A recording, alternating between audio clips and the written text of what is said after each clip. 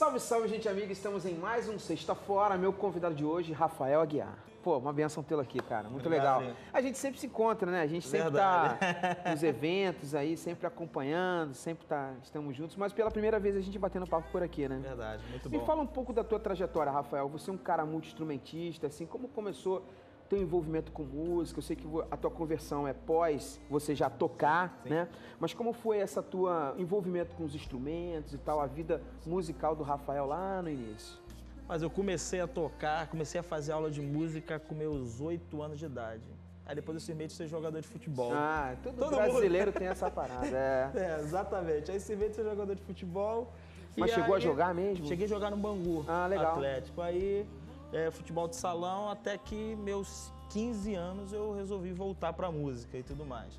Aí ali abracei a música, comecei a estudar música, estudar, estudar. E comecei a tocar no secular. E fiquei lá 12 anos, acho que no secular.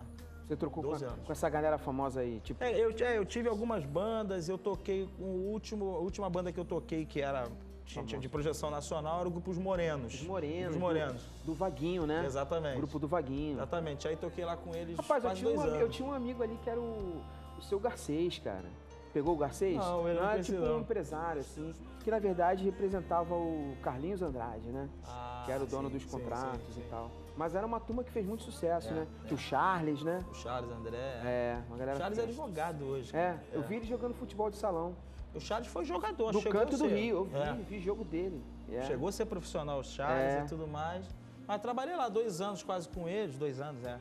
São meus amigos, são meus amigos. De vez em quando a gente tá se falando. Fizeram e muito mais. sucesso, né? Fizeram, Muito fizeram. sucesso. Estou voltando agora. É. Estou voltando. Aí depois do esquema do secular, como foi essa coisa musical, é, a compreensão da conversão e do processo pro gospel, assim? É, foi, foi- inicialmente foi difícil porque na verdade eu era um cara que me considerava ateu, né? É mesmo? Então é, eu não, acreditava? Não, em nada. Em nada? Em nada.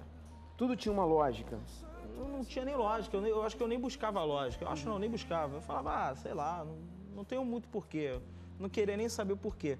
Eu costumo falar sempre nas entrevistas que eu, eu não tinha. Eu nunca fui um cara. Sempre fui um cara bem comunicativo, mas nunca fui um cara.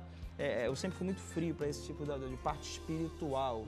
Seja em qualquer, vamos chamar, segmento, Sim, né? sim, sim. Eu sempre fui um cara muito frio, falava assim, Rafael, vamos orar? Não, vamos rezar. Não, Rafael, vamos qualquer tipo de, de, de, de reza, de oração. Eu falava, não, não Tô participo. fora, né? Não, não participo, não, não participo. Era- isso era muito claro, muito claro. Até que eu fui numa igreja com o pastor Djalma Correia. Mas quem te convidou? O cara teve que ser corajoso, É, né? não, eu frequentava, lembrei, pontos de pregação mais novo com minha mãe, mais, mais novo mesmo, sei lá, com meus 5 anos de idade. E depois disso, quer dizer, frequentava por ir com minha mãe e tudo mais. Depois disso, aí já voltando meus 15 anos, toquei esses anos todos e passei, fui num, num culto.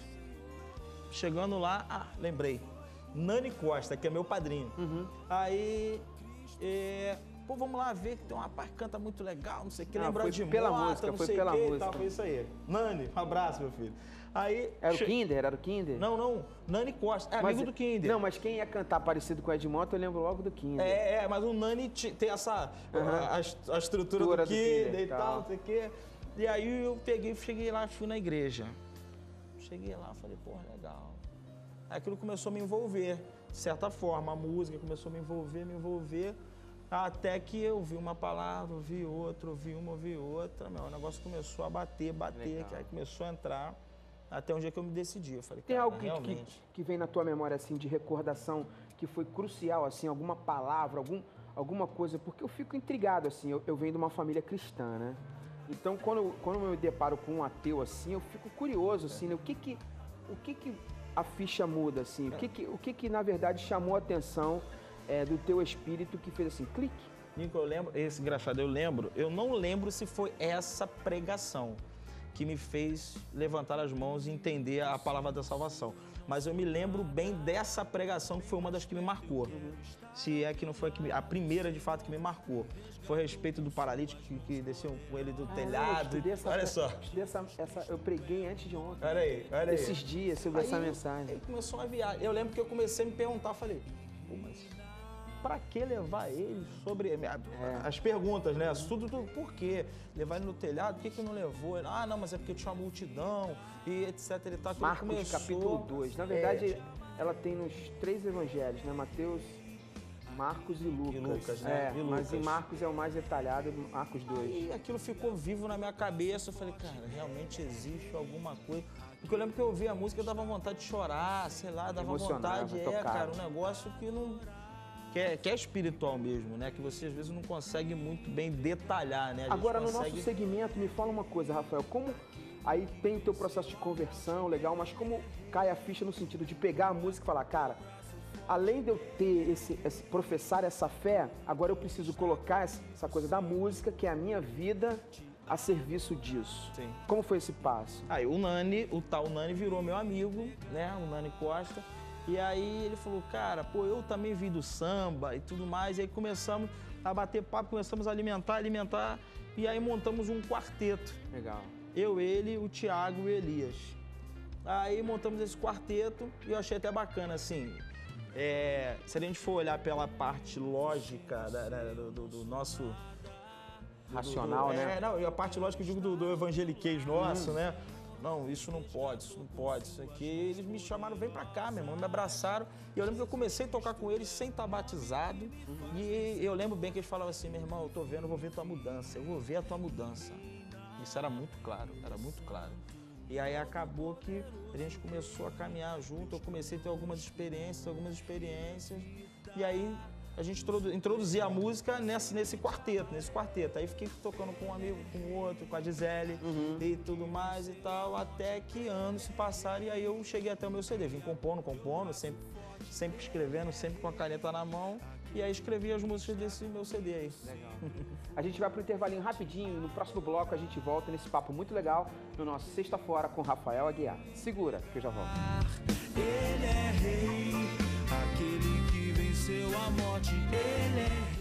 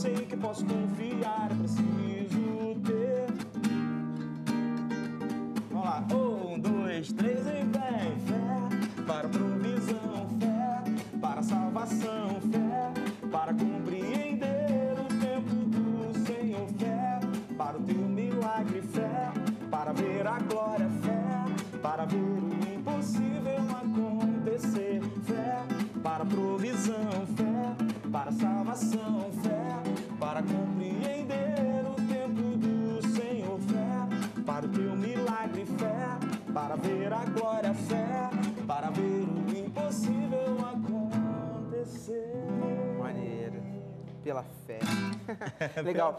Essa é uma. A, a maioria das, da, da estrutura da- do teu repertório vem das tuas composições? Sim. Como você estava falando, veio de um período de. Quando é o primeiro trabalho, assim, eu sempre me lembro de algumas pessoas que já passaram por aqui, Rafael. Eu sinto assim que é como que uma.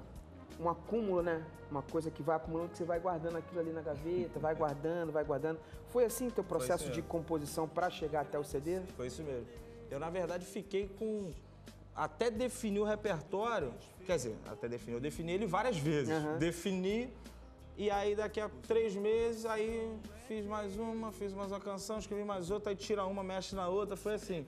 Até chegou na hora, eu falei, acabou, agora é esse o Agora vou repertório que a gente tem que seguir. Legal. É. E como foi a experiência de estar na Universal, assim, que é uma grande gravadora que, assim, tem muitos, essa onda do indie, né? Tem muitos artistas, né, que são independentes, né? E você tá numa estrutura bacana com a Universal, assim, num selo digital, de distribuição, assim, ace- acesso, acessível às pessoas, né? sim. por- pelos canais aí de Spotify, né? De tudo aí. É, como é a experiência de começar um trabalho já com essa estrutura bacana, assim? É, muito bom, porque a- a- as pessoas começam a ter é, ma- mais acesso né, àquilo que você, você escreve, àquilo que você grava, né? E, e começa a ser muito mais prático. Esses dias a gente estava em São Paulo, por exemplo, já estou aqui no Rio de novo, onde eu moro. É, Quinta-feira já estou no Maranhão fazendo divulgação lá. Então, assim, a gente consegue ter esse, essa chancela ali da gravadora acaba abrindo portas pra gente conseguir estar divulgando aí o trabalho. Legal. Eu percebo assim que a tua, a tua pegada é uma pegada assim, é, músico, né? Você é o, o músico clássico, né? E você imaginava estar nessa, nessa, nessa condição de ser um artista e tal? Porque você vem de uma experiência de gigs, né? Sim, de sim. ser um sideman, Sim, de ser um acompanhante de grandes artistas. Exatamente. Mas foi sempre tua perspectiva e sonho estar na frente, estar na, na carreira solo, assim? Cara, aconteceu. Meu, meu, meu- Até chegar no meu disco aconteceu, assim. Eu vim fazendo um trabalho, vim fazendo outro, e compondo, e fazendo isso, fazendo a participação com um amigo, até que eu também tive meio que deu uma enchida, assim, de gig. Rapaz, era Chegou sempre uma- muito problema. É muito problema, Sempre né? muito É problema. muito aí eu problema, falo, né? rapaz, aí você vai ter um evento, aí um, tem um porquê, aí tem um porquê, aí tem um, não pode, aí chega atrasado, aí o outro não tem um compromisso. É, isso é qualquer lugar, É. né? Seja no secular ou Tem não. muita diferença Acontece. do secular para o nosso segmento em relação a isso, desse comprometimento, pela tua leitura, pela tua visualização, assim? É, eu posso até tá, posso estar até usando as palavras erradas aqui, mas eu vejo que parte, parte do secular às vezes é até mais comprometido com relação a isso do que dentro Não é a do- primeira do- vez que eu escuto isso do- aqui, do não. Não é que- a primeira é. vez, não.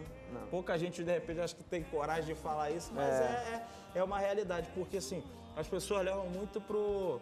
pro não, meu ministério, não, eu não sei o quê. Tem muito, muitos porquês. Cara, mas o porquê é fazer a música bem feita, fazer direito, excelência, fazer né? com excelência. Se tem um horário para chegar, temos que chegar. Se temos que passar som, temos que passar som. É bem isso. É, é- é bater firme nisso. E eu vejo que é muito, ah não, a música é dó, sol, lá menor e fá, só precisa disso, acabou, não tem problema, é só isso e tal. Prova disso que assim, eu quando faço os eventos, minha gig é bem reduzida. Eu toco com tudo sampleado, os BGs de tudo, aí toco eu e o Batera. Às vezes a gente vai fazer gig numa igreja grandona, o pessoal fala assim, ué, Ué, só dois só tem rapazes? dois caras tocando, o que, que é isso? E aí eu levo o violão e levo o contrabaixo, e aí tem música que eu faço contrabaixo cantando Legal. com batera. E o violão cantando e com batera. E os BGs todos, a pessoa fala assim, caramba, dois caras só fazendo.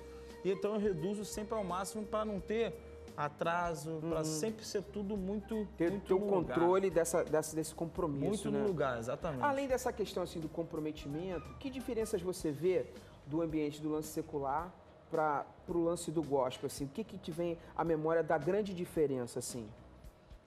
Pô, a diferença, eu, eu- eu vejo que dentro do, do, do, do gospel, eu, eu brinco que é muito Ctrl-C, Ctrl-V, né? O pessoal fica muito assim, não, eu tenho que fazer assim porque senão não vende. Em formatos estabelecidos, É, né? não, vou fazer assim porque senão não... Se eu não fizer assim, não vai vender. Eu não me preocupo com isso. Eu faço aquilo que eu gosto, meu som, sem preocupar se, se ele é vendável ou não. Eu, eu quero fazer de forma, de- com, com excelência, mas sem me preocupar com, com esse rótulo. Alguém me perguntou, Rafael, qual é teu estilo? Eu falei, cara, MPB pop, o, o Álvaro Tito até que já é MPB pop black. Eu tenho meu toque todo da MPB, tenho o toque do pop. Prova disso assim, que os acordes sempre vêm com sétima, É, maior. eu percebi, vem- é, é, vem- são tétrades, é, né? é, a, a grande maioria das músicas é sempre isso, cara. Sempre tem o. Tem o é sempre com sétima, décima É. terceira e tudo mais. Mas por quê? É para dificultar? Não, é porque a textura, a estrutura das músicas, ela acaba, eu acabo construindo elas assim. E dentro do gospel é muito isso. Eu acho muito co- Ctrl-C, Ctrl-V. Não quero generalizar, pelo amor de Deus. Não Uhum. quero dizer que fulano é igual a ciclano. Eu digo assim, eu vejo que muitas das vezes tem essa preocupação. Tem uma coisa, assim, tem uma coisa do. que usa-se muito esse jargão assim, do mais do mesmo, né? É, é, tem uma coisa é. assim de, um estilo estabelecido que tem feito, vamos dizer assim, a, a, a, a canção congregacional, que a Sim. igreja canta, e, é- e a partir disso, às vezes, mais do mesmo. É. O que você está falando não é uma. Não é uma você não está sendo assim. é, é, leviano, não está sendo diferente do que a gente observa. Sim. Mas você acha que falta o quê? Ousadia ou, ou o mercado ele é difícil mesmo? Qual a tua É, Eu percepção? acho que falta ousadia, eu acho que falta ousadia. O mercado sempre é difícil. Eu acho que qualquer mercado, para você fazer ele, entrar nele, é sempre bem difícil, né? Eu, eu falo que eu, não me preocupo em entrar no mercado gospel de, de- com força ou não. Não me preocupo mesmo. Me preocupo. Prova disso, eu tenho duas empresas fora o, o meu lazer, meu lazer cristão. música, entendi. Porque aí eu vou fazendo da forma que eu acho, bem tranquila e tudo mais, para não, não ter essa, é, esse, esse prem, essa- esse prendimento, vou dizer assim. Virar um refém, né? É, Ficar com não, muito se eu peso não- sobre aquilo. Se eu não fizer assim, não vai vender. Se eu não fizer preciso assim, pagar a vai conta. ser- É, não, eu não. Não tô preocupado com isso. Eu tô preocupado em fazer aquilo. Essa eu acho que é a minha verdade. Esse meu som, eu acho que é o som que é o que me agrada. E agrada alguns, agrada alguns. É isso que é importante pra mim. Porque eu vejo amigos meus seculares que falam assim: caramba, bicho, teu CD é pra ouvir no carro, pra eu viajar na estrada. Pô, teu CD é pra não sei o que. O Bochecha mesmo que tá aqui comigo, que é meu, meu parceiro aqui, meu professor de tênis fala assim, pô, cara, esse CD eu tenho que estar dirigindo ouvindo ele Legal. e tudo mais e tal. Eu falei, cara, é isso aí, eu quero, eu quero que aqueles que não escutam a nossa música Sim, mais convencional, é. exatamente, escute e fala assim, cara, é uma música boa de ouvir na estrada, é uma Legal. música interessante. É, é- essa, é- esse é meu foco, né? Legal. Esse é meu foco. A gente está caminhando para o final, Rafael, assim, com toda a tua experiência, assim, é, oriundo do meio secular, um músico profissional, então a gente percebe, assim, a, a tua capacitação como multi-instrumentista. Qual conselho você daria, assim, para essa galera que às vezes está no nosso meio e tá afim, né, de ter um CD, de ter uma oportunidade? Nosso meio, ele tem uma riqueza de pessoas, assim, afim de fazer, Sim, sim. né? Tem uma, uma, é, uma quantidade muito grande Verdade. fruto da iniciativa das igrejas, fruto da, do, do modelo que a gente tem de vivência cristã, que tem os cultos, que tem música. Exatamente, e tem é. que ter uma galera. E às vezes é uma galera que tem a tua experiência, que está afim de tocar no secular, de ser músico profissional, mas que no fundo quer ter essa oportunidade. Que conselho você daria dessa tua trajetória que você traz como uma lembrança importante daquilo que Deus tem te dado? Assim?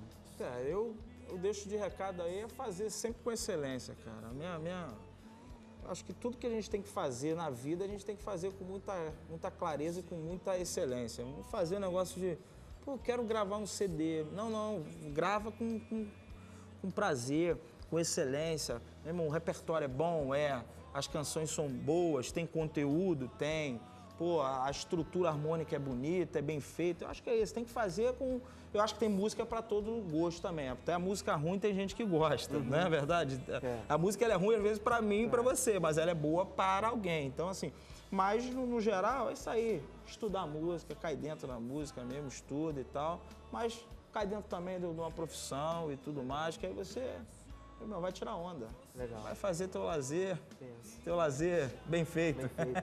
Uma honra tê-lo aqui, Rafael. Te Obrigado, tá, muito. pelo convite, tá? A gente vai com mais Rafael Aguiar na musicalidade feríssima desse cara. A gente se encontra mais um pouquinho no estúdio. Valeu, super valeu e tchau, tchau. Vamos lá.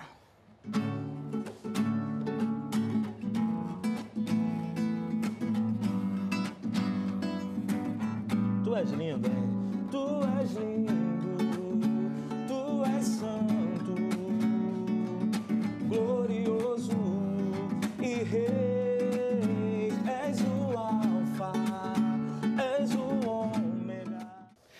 Obrigado pela sua companhia. Mandar um super abraço aí pro grande Rafael Aguiar. Obrigado pelo carinho aí, pela companhia desse bom papo. E a gente fica sempre na expectativa de novas oportunidades de estarmos juntos. Espero que você tenha gostado. Escreva pra gente, participe, fale do que você tem gostado na nossa programação e mande sugestão de quem você quer ver por aqui.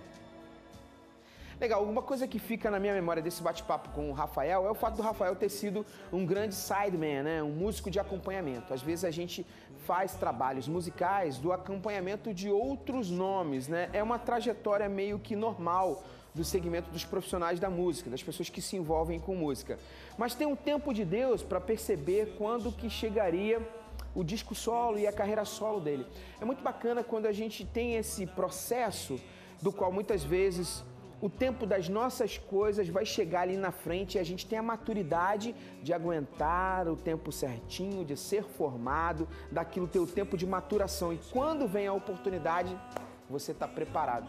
Às vezes tem coisas que a gente está frustrado e infeliz, mas não tem como dar carro para criança pilotar, sabe? A idade de pilotar carro, ela tem uma coisa de maturidade.